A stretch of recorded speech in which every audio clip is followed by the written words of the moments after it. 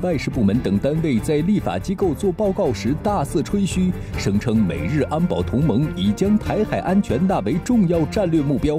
亲绿媒体则爆出美对台军售新型号的 AGM-88 空对地反辐射导弹等等。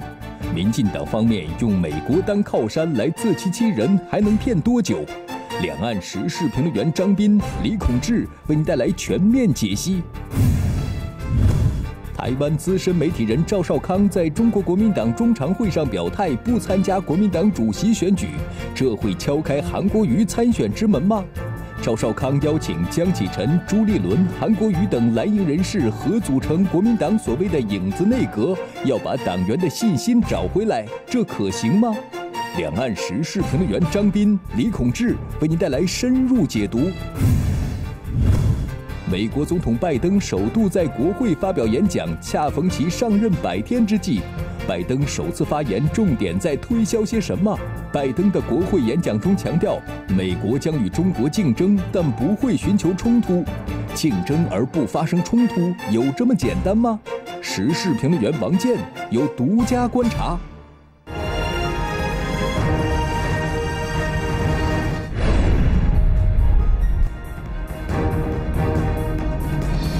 海峡新干线，两岸看世界，欢迎收看东南卫视海峡新干线。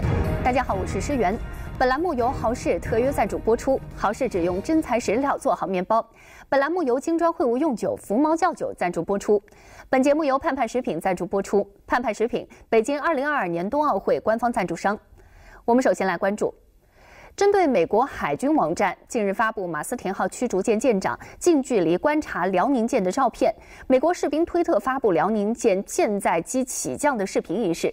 国防部新闻局局长、国防部新闻发言人吴谦大校二十九号表示，近日，中国海军辽宁舰航母编队在有关海域开展正常演训活动期间，美马斯廷号驱逐舰持续对中方舰艇编队近距离侦察。严重干扰中方演训活动，严重威胁双方舰艇航行安全和人员安全，性质十分恶劣。中国海军舰艇对美舰予以警告驱离，中国国防部已就此向美方提出严正交涉。吴谦说，美县政府就职以来，美军舰在中国当面海域活动频次比去年同期增加逾百分之二十，侦察机活动频次超百分之四十。美方频繁派遣舰机赴中国周边海空域活动，推动地区军事化，威胁地区和平稳定。中方对此坚决反对。我们敦促美方严格约束一线部队，遵守中美海空相遇安全行为准则、国际海上必碰规则，杜绝再次发生类似的危险事件。再来关注。美日领导人本月十六号发表联合声明，其中提及台海问题。台外事部门二十九号大肆吹嘘，称美日安保同盟已将台海安全纳为重要战略目标。而亲绿媒体则是鼓吹美国将改售台湾更新型号的 AGM 八八空对地反辐射导弹。被岛内网友讽刺说：“改来改去，能多挡几分钟。”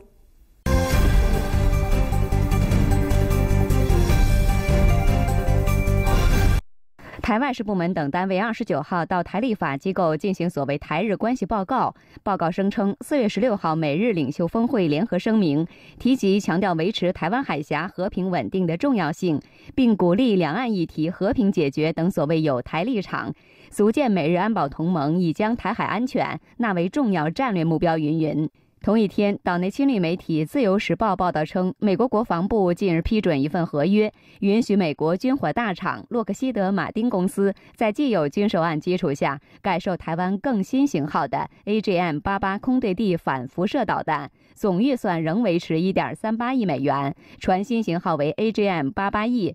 全案预计在二零二二年九月三十号完成。台军方官员二十八号虽说尚未正式接获消息，但宣称只要对防务有注意之事，皆表示欢迎。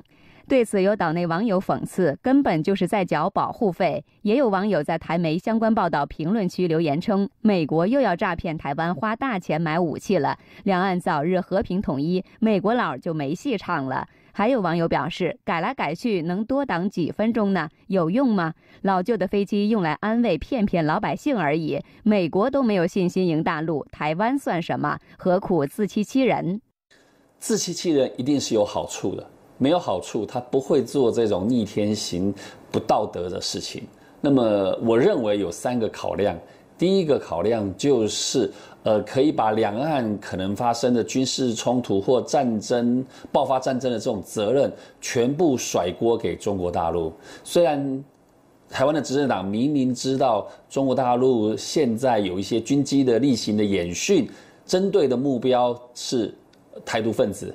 但是他是硬要拉善良多数的台湾人来当这个战争很可能的垫背，所以我认为这是第一个考虑。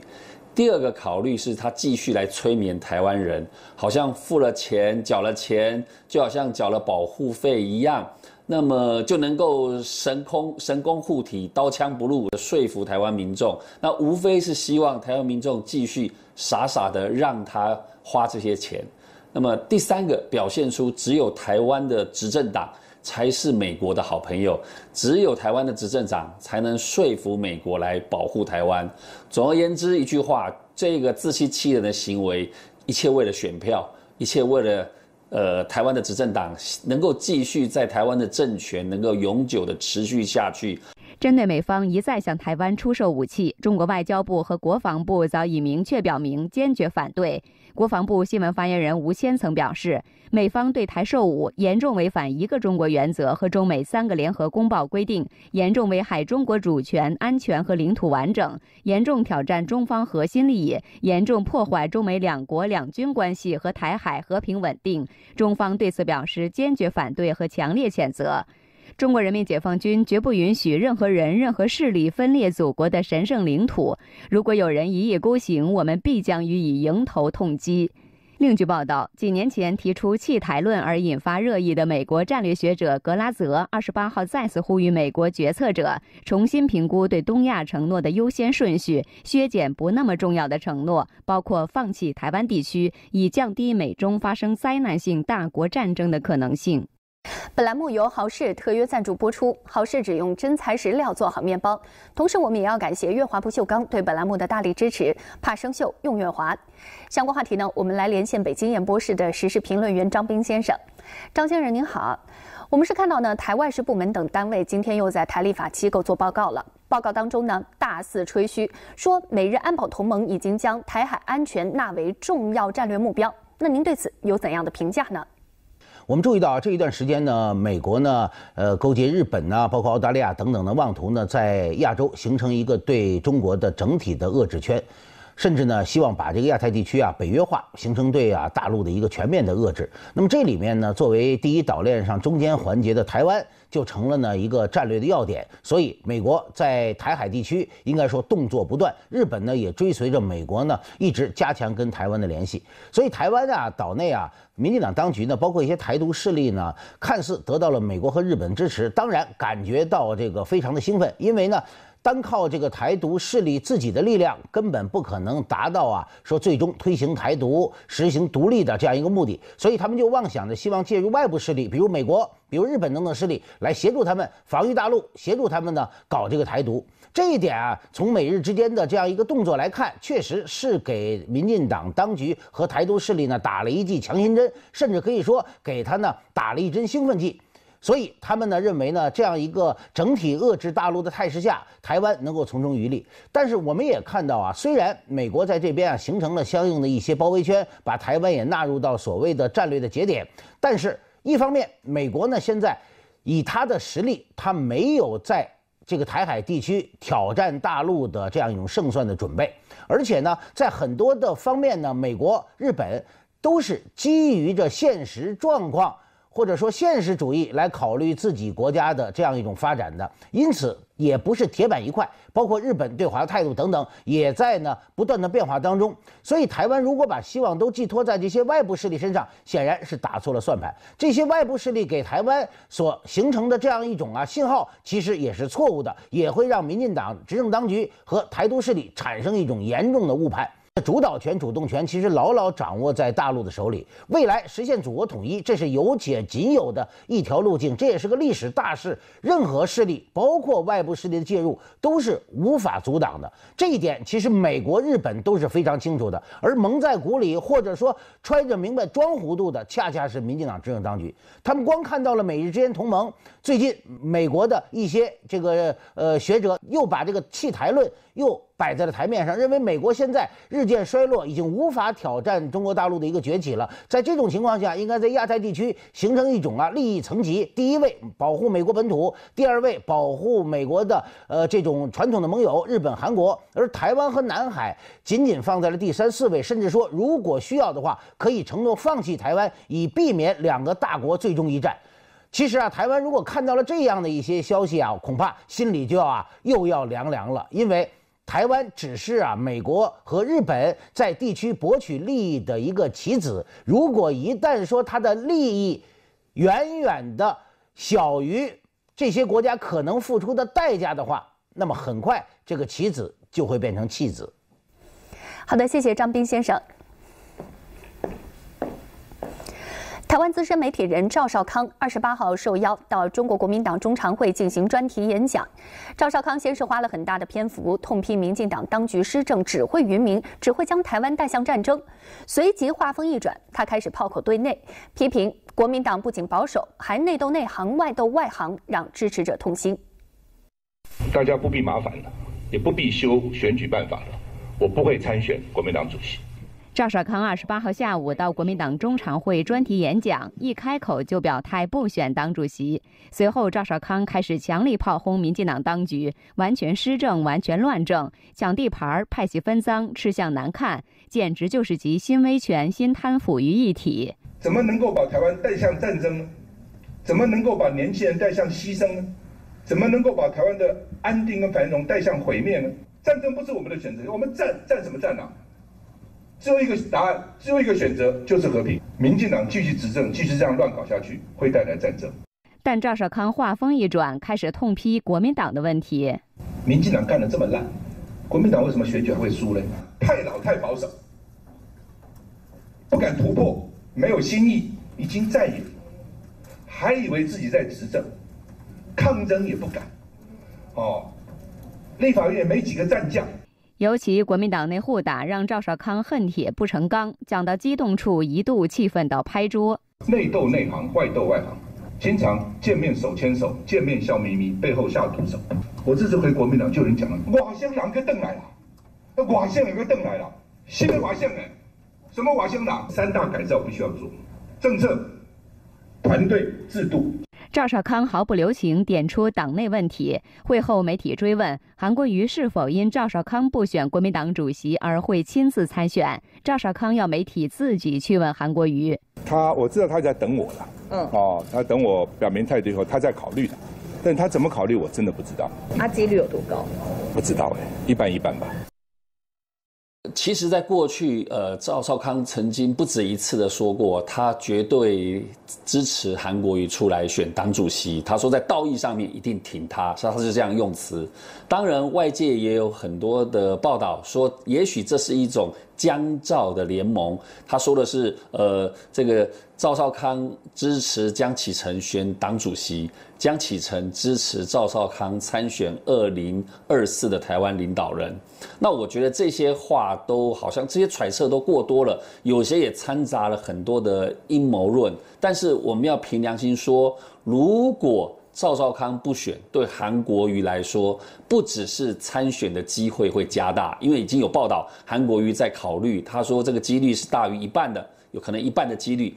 那么不只是韩国瑜参选的几率更大，我觉得，呃，赵少康不选，韩国瑜胜选的几率也会提高。我觉得这才是这件事情我们思考的关键，也就是赵少康不选，可是他过去呃累积的一些声量。他呃所凝聚的一些人气，在他表达他的意愿以及事实跟韩国瑜做个人的切割之后，其实反而有助于把这样的能量灌注在韩国瑜的身上，会补韩国瑜的不足。那么韩国瑜参选的正当性也会更高一些。但是我觉得这些呃，不管是媒体的报道、有心人的揣测都不重要，重要是我觉得看到一个迹象，就是呃，国民党目前的明星都愿意站出来团结起来，那未来才有胜选的可能。我觉得这个事情才是我们要关注关注的哦，就说呃，赵少康选不选，是不是能够让国民党党主席的选情更加明朗，那么能够凝聚更多力量，能让更多个太阳。能够聚集在一起，团结起来，我觉得这才是关键。另外，赵少康二十八号晚间在脸书发文批评民进党抱着所谓仇中、反中及反核的神主牌，掩饰施政无能。国民党不团结，希望邀江启臣、朱立伦、韩国瑜等人合组所谓影子内阁，把党员的信心找回来。我们继续来连线北京演播室的时事评论员张斌先生。张先生啊，赵少康呢？他还希望邀请江启臣、朱立伦、韩国瑜等人组成国民党的所谓影子内阁，要把党员的信心找回来。那您觉得这种方法可行吗？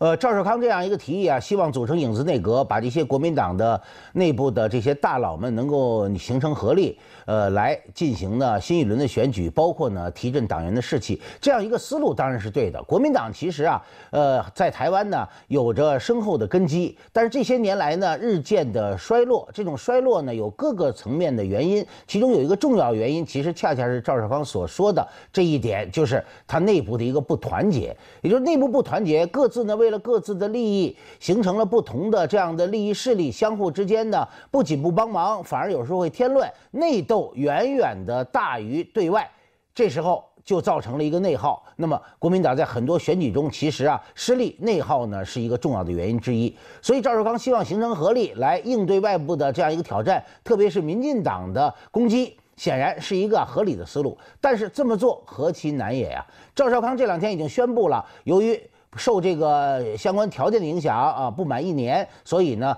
已经退出了国民党主席的一个选举了。那么未来现任主席江启臣，还有呢连胜文，还有呢前主席朱立伦，包括韩国瑜，都可能有问鼎主席的这样的一种啊机会。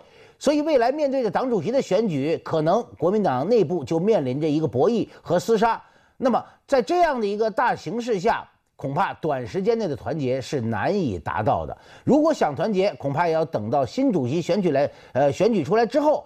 可能呢还有一丝的这样的可能，但是以国民党啊以往的内斗内行、外斗外行的那种特质的话，想让这些不同派系、不同的利益的这样一种呃人员能够整合起来，我觉得很非非常难。不但有不各自的利益，甚至这各方在两岸的论述上，在国民党未来的发展上都有着不同的意见，有着重大的分歧。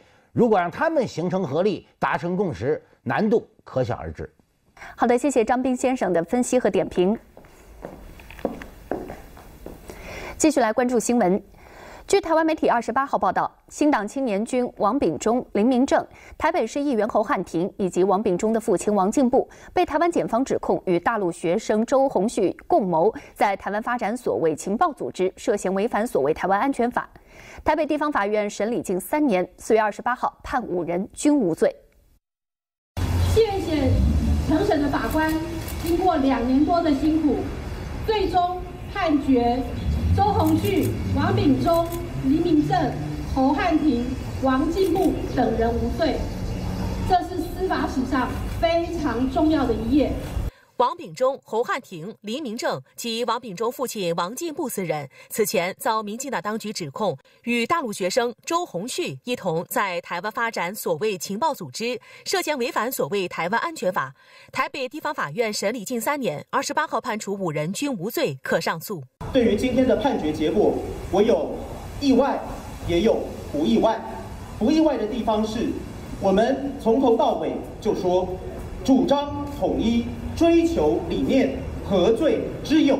法官能够抵抗得了压力，那么一切根据法理、根据证据、根据公义，判处我们所有被告无罪，我在这里还是有小小的不意外的原因。二零一七年十二月十九号凌晨，王炳忠等人在住处遭台当局检调机关搜索并强制传讯，此事在岛内引发各界震动，也引发民众对绿色恐怖的忧虑。案件审理期间，王炳忠等人遭台湾检方限制出境出海，且限制期不断延长。在答辩交锋的过程中，侯汉廷、王炳忠等人的律师质疑相关证据遭台所谓调调查局动手脚。王炳忠等人更怒指民进党打压异议人士，痛批检方将证据拼凑写故事，只为将他们定罪。在被判无罪之后，黎明正受访时一度哽咽。我要感谢我的家人，特别是我的太太，这三年多来，她给我的支持和鼓励。我想，嗯，我没有办法用言语来回答或感谢她。谢谢她给我的支持和鼓励。恳请相关单位。在法院已经作出无罪判决之后，应该尽快解除我们所有人的限制出境。黄炳忠指出，检方的指控完全没有逻辑。此案拉上周鸿旭，就是为了要把原本正当两岸交流扣上所谓共谍案的帽子。而大陆学生周鸿旭二十八号接受访问时表示，自己已经看到判决书的内容，很感谢法官能依据事实、凭良心讲话，钦佩法官的道德勇气。不过，自己当前仍然被限制离开台湾，每天早上都要去派出所报到。对于自己何时能回大陆，周鸿旭则仍持悲观态度。如果检方不断提起上诉，采取拖延战术，也许除非两岸统一，我才能回大陆。他呼吁台检方重拾从事法律的初心，勿为特定政治势力的利益出卖良心。早在大陆学生周鸿旭被民进党当局指违反所谓台湾安全法时，国台办发言人马晓光就曾表示，在台独势力大肆渲染大陆在台情报渗透严重之际，发生此事背后动机令人怀疑。先是干扰两岸正常的校际交流，现在又在赴台就读的大陆学生身上做文章，只会进一步伤害两岸教育交流和同胞感情，恶化两岸关系。而对于此次审判结果，黎明正表示，民进党当局不希望看到恋爱民众交流就扣上所谓安全的大帽子，限制民众的自由。新党的这些组织没有在发展什么秘密组织，同时所谓接触的这些所谓军人，都是我跟侯汉廷的朋友。那本来就认识了，那也没有说要邀请他们去发展什么秘密组织，而这些答案其实北检早就知道了，他们在侦办的过程中就都了解，没有人被发展，甚至包括在二零一八年都开了记者会说没有军人被吸收，可是呢，北检硬是要起诉，所以浪费司法资源这三年多，就告诉大家说，不要说好像呃人民跟大陆有往来，你就要用。大帽来扣，那你限制人民的自由，到最后变成法西斯独裁了。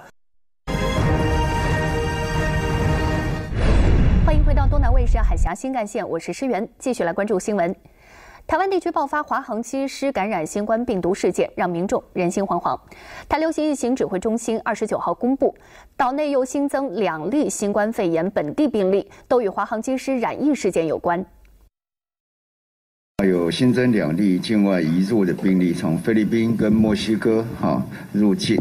那另外新增两例哈本土的案例，那一例调查中。台流行疫情指挥中心二十九号公布，岛内新增两例新冠肺炎本地病例，其中一例为机场防疫旅馆的员工，一例为按幺零七八华航机师的同住家人，还有一例疑似病例则为航空公司的机师。华航机师染疫圈越来越大，让人担心隐形传播链越演越烈。不过，岛内医界却有相反的看法，认为整体华航机师案裁减了一千二百七十九名相关人员的血清抗体，却只验出三个人是之前没有确诊的案例，可见这个病毒传播链已经断掉了。从这个血清的调查里面告诉我们，这个这些病例很多都已经在可能一个月前就感染了，所以它的最初的感染源可能在一个月之前，有可能，所以大概不太容易找，没有错。不太容易找，没有错，但是没嗯没有感染源。要做起来还是可以做，我们就给他做广框列。王任贤强调，如果传播链断掉，代表最初的感染源更难找，因此台防疫部门不能掉以轻心，应该继续扩大框列范围。而在二十九号一早，被当作临时防疫宾馆的诺富特饭店临时接获通知，要被全部清空，就是因为饭店内有工作人员确诊新冠肺炎，消毒人员穿上防护衣进行现场管制以及清洁消毒作业。过后还要静置十四天。只是没想到清空饭店的消息来得又快又急，让外界怀疑是不是华航机组人员检疫用的饭店管理、清洁消毒出了问题。因为有新的确诊案例，那经过疫情指挥中心哦做现场实勘，那认为这个一管二管，那么足迹较为复杂，那防疫风险提高了，那所以决定，呃要净空诺富特。桃园市长周文灿证实，是因为诺富特饭店内有主管确诊，所以指挥中心才紧急要求清空。里面的四百二十二人被安置到其他防疫旅馆。但周文灿也提到，其实过去这几天他就不断叮嘱台流行疫情指挥中心。不过在这个之前，我已经很多次提醒疫情指挥中心，针对哦，包括这个华航的机师，哦，或者是这个相关的确诊人员，哦，足迹较多的地方。那么要采取高标准来防疫。从机师连续爆出确诊案例，现在才将饭店清空。陈时中虽然说要持续厘清感染源，外界仍然质疑他没在第一时间筑起防火墙，时间上慢半拍。二十八号上午，台立法机构审议会计法规修改议题，由于牵涉到公务机要费的除罪化，蓝绿阵营爆发了激烈肢体冲突，国民党及民代更是掀翻桌拆麦克风来表示抗议，场面一片混乱。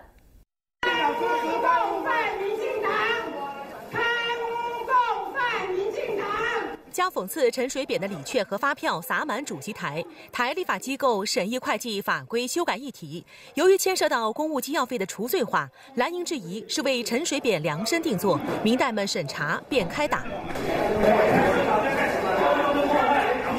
蓝营民代将计时器的电线拔掉，议事人员只好往旁边躲。翻掉的桌子变成堡垒，蓝绿民代各站一边，激烈互呛。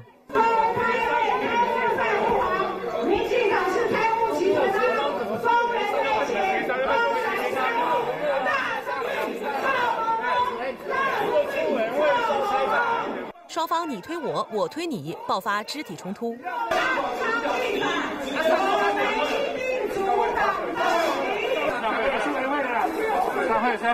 由于场面太混乱，被请来做报告的官员也全被晾在旁边。而提案修改相关法规的民进党籍民代蔡意瑜，本来想发言，但是被国民党籍民代举着牌子挡在面前，最后还被包围。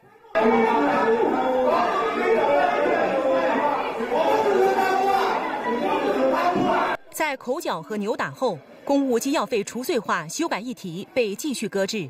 绿营想为陈水扁脱罪，恐怕没有那么容易。来看下一条，台湾地区所谓驻日代表谢长廷，近期因为替日本核废水辩护，还把台湾核电站牵扯其中，引起巨大争议。台湾立法机构外事小组要求其回来报告，但谢长廷以隔离检疫为由，并未返台。对此，台立法机构外事小组召集人廖婉汝宣布，将在五月二十四号再次召开相关议题的会议。一定要回来哦，哈，不要不要再以订不到机票为理由了，哈。干笑两声，吴钊燮开始收拾公事包。台立法机构外事小组的备询不到五分钟就结束。五月二十四号，谢代表会回来。谢谢，我们会转达，我们会转达，会转达这样子。这个部分实际执行上会不会有困难？是，我们会转达。日本政府做出两年后排放福岛核废水的决定后，台所谓驻日代表谢长廷公开为日本辩解。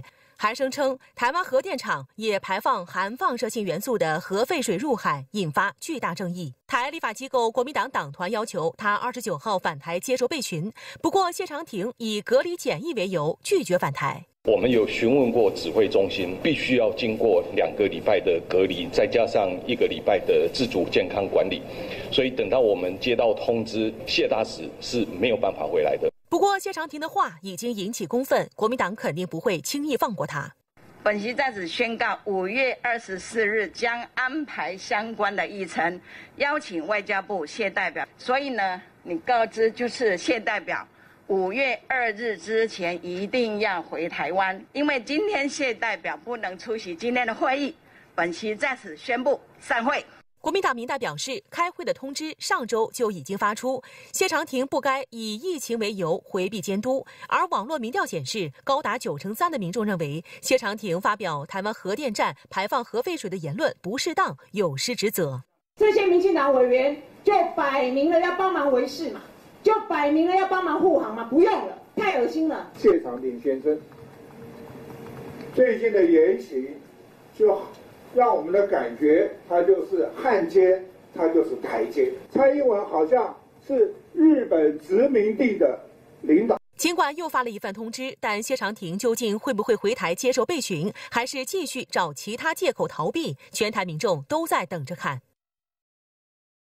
来看下一条，民进党籍民代高嘉瑜发现台北内湖有建案公共设施超过五成，要求台内务部门检讨高公设比的情况，并且质疑民进党当局为何要把机电设备也列入公共设施。不料遭到台内务部门副主管花敬群当场回呛：“机电设施是必要的，没有电梯，难道你要飞上楼吗？”你们家没有机电，你们怎么坐电梯？对消费者非常的不公平，就是说跟我实际居住面积是要相同的价格的话，一些正常的东西说成很二指，没有机电，没有电梯，你上楼用飞的吗？民进党籍民代高嘉瑜为了建案容积率与台内务部门副主管花敬群言辞交锋，两人会杠上是因为部分建案的公共设施比例过高。公社比呢冲破三十五趴哦，一千万买房五百万是公社，甚至在我们内湖出现将近五十二趴的高公社。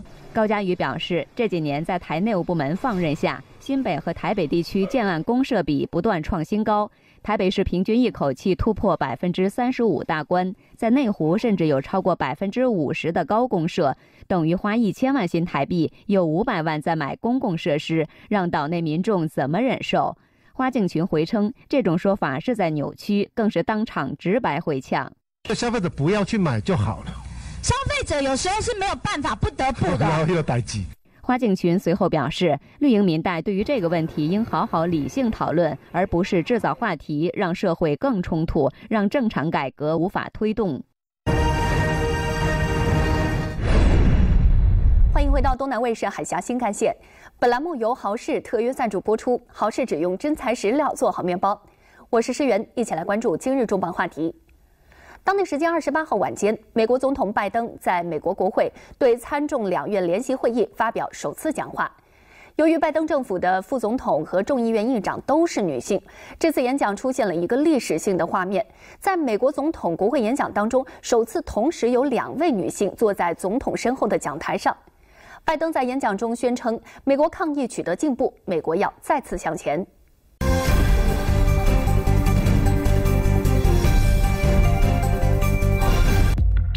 根据美国有线电视新闻网报道，美东时间二十八号晚九点，美国总统拜登在上任一百天之际，首度前往国会发表演讲。在承认美国经历了一系列危机，包括新冠疫情及它造成的经济破坏，以及一月六号暴徒对国会大厦的袭击后，拜登说：“美国再次向前。” Can our democracy overcome the lies, anger, hate, and fears that have pulled us apart? America's adversaries, the autocrats of the world, are betting we can't, but we have to prove them wrong. 拜登在讲话中表示，过去一年，美国社会面临着层出不穷的种族歧视、警察暴力执法、枪支暴力等问题。拜登强调，美国国会应立即采取行动，对警察部门做出更大的改革，根除美国系统性的种族主义。拜登还在会议上谈到了美国的经济复苏、就业、税收等内容，并提出了针对儿童、学生和家庭的总计1.8万亿美元的美国家庭计划。拜登在讲话中还直接向美国人推介其政府的基础设施计划，并称该计划将以美国投资原则为主导。美国就业计划的所有投资都将遵循一个原则，那就是买美国货，买美国货。拜登称，美国纳税人的钱将被用来购买美国制造的产品，从而创造美国的就业机会。这本该如此，这届政府也将会继续这样做。关于目前的国际关系，拜登表示，美国不会寻求冲突。他已向俄罗斯总统普京明确表示，美国不寻求局势升级。但对于俄罗斯干预美国大选和网络黑客攻击等行为，美国已经作出回应。拜登指出，为了双方的共同利益，美俄两国也可以寻求合作。此外，拜登还把矛头指向中国，宣称将保持美国在印度洋太平洋地区强大的军事存在。并承诺将推动技术发展和贸易。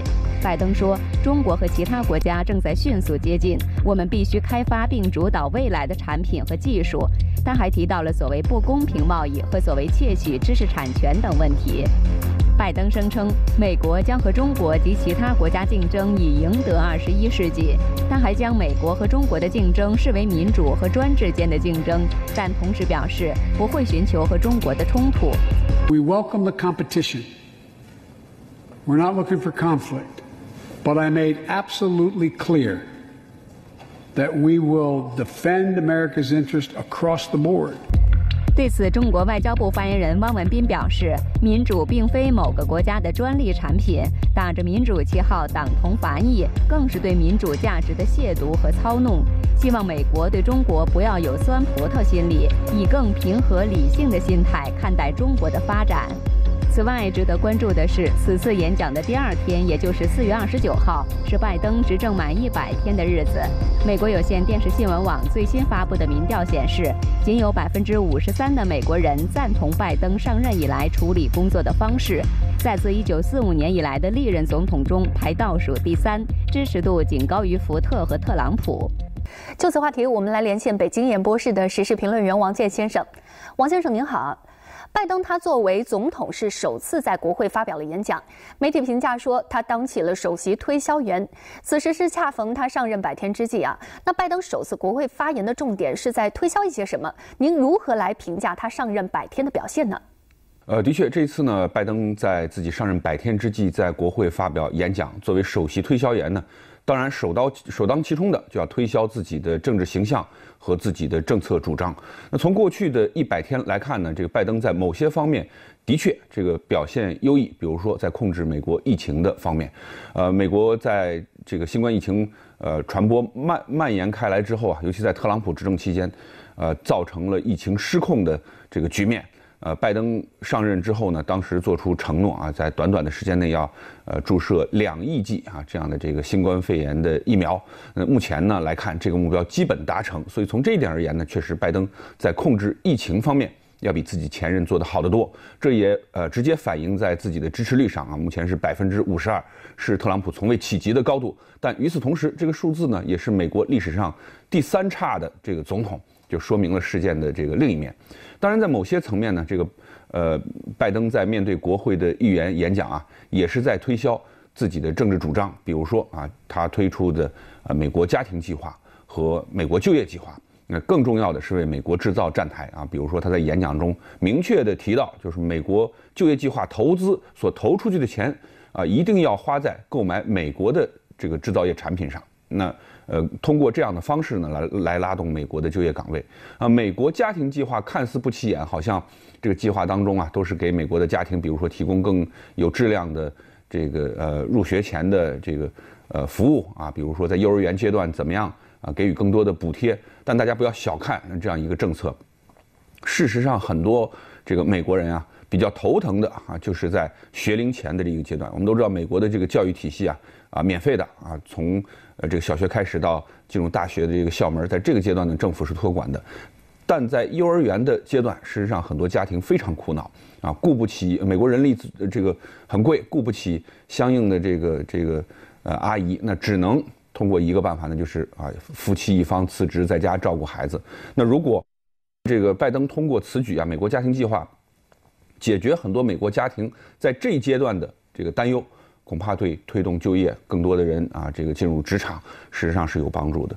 所以这一次呢，啊，演讲放在这样一个重要的时间呃节点上，我想拜登更重要的是要展示自己上任之初做出的种种承诺啊，种种这个这个呃宣誓都呃逐步的在推进，同时也要在接下来啊进入呃更加实质性的这个执政阶段啊，自己的政治主张能够被美国人民认可，在国会。呃，这个两党之间拉锯的过程当中，能够让自己的政策主张更多的得以通过、得以执行，我想是做足了努力。我们还注意到啊，拜登的这一次演讲还出现了一个历史性的画面，在美国总统国会演讲当中，是首次同时有两位女性坐在了总统身后的讲台上。拜登他自己也是着重强调了这样的一个细节。那想请教您一下，拜登的这一个动作是在传递怎样的信息呢？呃，拜登始终想把自己打造成为历史的创造者啊，这样的一个形象。比如说，在竞选阶段就任命了哈里斯作为自己的这个呃政治副手啊，来共同啊在竞选当中啊拉选票啊。从那个时候到现在啊，这个拜登携手哈里斯入主了这个白宫，可谓说。呃，确实取得了历史性的成绩。我们都知道，在美国历史上还没有一位女性成为这个呃比副总统更高的这样的一个职务啊，所以呃的确缔造了历史。那这一次演讲的过程当中呢，呃，我们看拜登在演讲中呃直面啊直言提到，这这一刻创造了历史。我身后的两位，呃，一位这个呃副总统的这个。呃，哈里斯啊，另一位呢是美国国会的众议院的这个呃多数党领袖啊，也能够看出两位都是女性，自己又一次创造了历史。所以，呃，正如前面的问题所提到的，这拜登总是想通过这次演讲啊，给美国人民创造一个呃自己不断创造历史、锻造历史这样一个形象。我想通过自己的言语呢，更多的提及了这一点。是海峡新干线，我是施源。东南卫视台海资讯节目在今日头条和微信都开设了官方账号，您可以扫描屏幕左下方的二维码，关注海峡新干线在今日头条开设的官方账号；扫描屏幕右下方的二维码，关注海峡新干线微信公众号。就拜登发表上任以来首次国会演讲的相关话题呢，我们继续来连线北京演播室的时事评论员王健先生。王先生啊，拜登的国会演讲中还强调了一点，那就是美国将与中国竞争，但是不会寻求冲突。但是要竞争而不发生冲突，真的有这么简单吗？美国能做到吗？呃，的确，在这次演讲的过程当中，甚至在此次演讲之前的这个执政百天之内啊，拜登多次提及中国，啊，甚至提及和中国之间的比较竞争。呃，我们都知道，美国的这个文化当中啊。呃，提及竞争相对是比较多的，这和中国人的文化截然不同。中国人的文化体系当中，尤其我们的传统文化，更多讲合作和谐。所以在这一点上呢，可能两国的这个文化是有差异的。但是只提及竞争，不谈及合作，而要避免对抗，这事实上是非常非常难的。所以从这一点而言呢，这个美国政府近期所采取的一系列措施啊，出台的一系列政策主张，的确让人非常非常的担忧。比如说。美国国会近期出过出呃这个出台的二零二一啊战略竞争法案，那厚厚的一大本法案当中，太多的地方谈及用呃政治的、经济的、科技的、外交的、军事的啊，甚至所有层面的力量去遏制中国的发展。那谈了这么多竞争，没有谈到任何一点合作。那事实上，中国作为世界上最大的发展中国家和美国啊作为世界上最大的发达国家，呃两者更好的合作，或者说合作的层面是要远大于竞争的层面的。这也是。呃，习近平主席啊多次提到的新型大国关系的呃实质和内涵啊，在这一点上呢，我觉得拜登此次呃提及要竞争啊，但是啊不要产生呃相应的摩擦对抗，我觉得是很难的啊。只有兼顾竞争与合作啊，比如说像一场体育比赛一样啊，双方能够很好的竞争，共同激励着对方向前发展，但同时要讲合作。啊，讲这个呃地球村，讲人类命运共同体，我觉得只有在这样的理念下，才能真正的啊避免啊竞争引导到这个对抗的层面。请扫描屏幕下方的二维码，下载福建省广播影视集团官方客户端海博 TV。今天的海峡新干线就是这样，感谢收看，下期节目我们再会。